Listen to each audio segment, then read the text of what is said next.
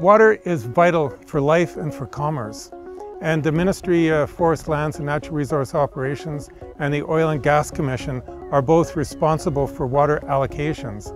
Given that water stewardship is one of our mandates, it's key that we know how much water is in a system before we give any allocations. In the past, we spent hours and even days calculating how much water could be there.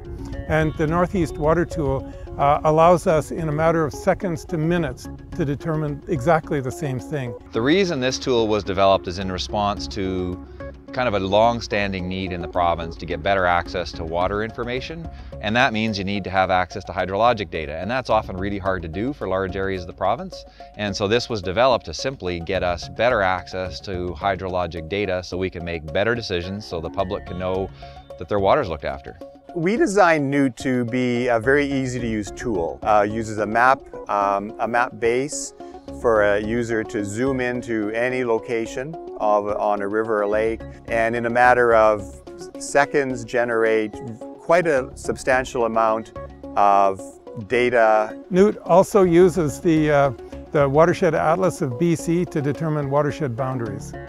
On top of the, the, the atlas itself, when you put the cursor on a point uh, along a river system, it automatically generates that subwatershed that then ties in to the bigger watersheds identified by the Watershed Atlas. The results that Newt has achieved is that we're seeing a lot of people use the tool. Certainly inside our agency and inside government, the people who need to get access to decision making are going online, they're finding their job is easier. We, we've put on quite a number of training workshops and it's apparent that within maybe 15 minutes, people who aren't even computer literate can, can learn how to use Newt. Well, Newt is considered to be innovative in large part because it's the only tool of its type anywhere in North America. Water information is public information, it should be transparent, and everything we do is designed to put that uh, water-related uh, information out to the public.